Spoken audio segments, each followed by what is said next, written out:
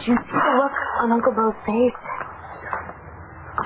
Jared, this isn't good. You can't be referring to the arrival of, of me and my pal Morasco because this promises to be very good for all concerned.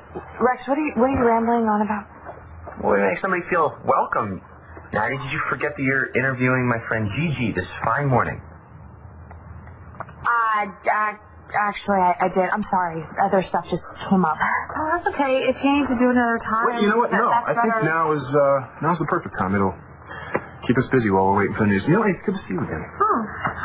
Thanks. You too. Uh, Phyllis will be interviewing you as well. She's the senior secretary. She'll do a typewriter test, whatever else. Oh, okay, sure.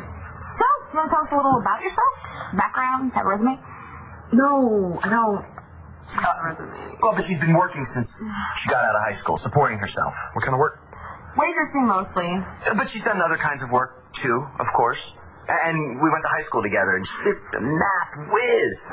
Great speller too. Won all sorts of B's. Impressed everybody by spelling picnicking with a K. It does have a K, right? Rex. And her typing skills. Rex. This woman can type faster than most of us can talk. And that's saying a lot, because I, for one, have been Rex. pounding a mile a minute. Get out. Break a leg, Roscoe.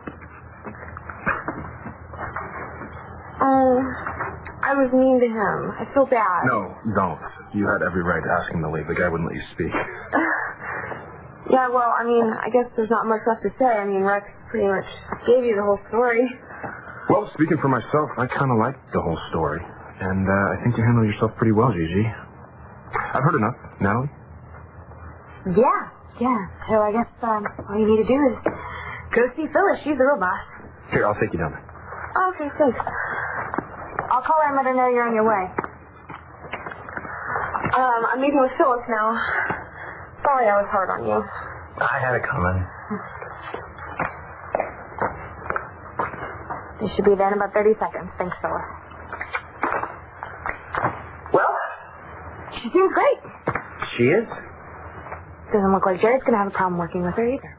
No, they seem to get along just fine. You got the job! Oh my god, I can't believe it. Uh, can you believe it? Of course I can. I knew they'd love you. Phyllis just raved about you, so she'll be tough enough to handle all the Buchanans. Are you kidding? She can handle much worse than you guys. Well, not, not you know, you're, you're bad per se. You, you know, you're a great group of people.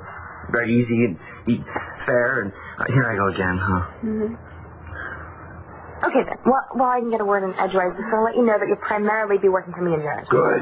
Good. You can ask my sister for a raise. She's got a real soft touch. Rex, Sorry. Uh, thank you so much, Natalie, for this opportunity. I'm going to be the best secretary you've ever had. I'm sure you will be. All right, um, guess all that's next is go down to personnel and fill out some paperwork. Thanks. Thanks so much. I'll see you soon. You, Rex. This means that Shane and I are finally going to have insurance. So Shane's asthma will be taken care of. It's a very big deal for us. Glad I could help. And I'm sorry about getting you in trouble with. Donna. Uh, no, it's okay. She, she knows she's got nothing to worry about.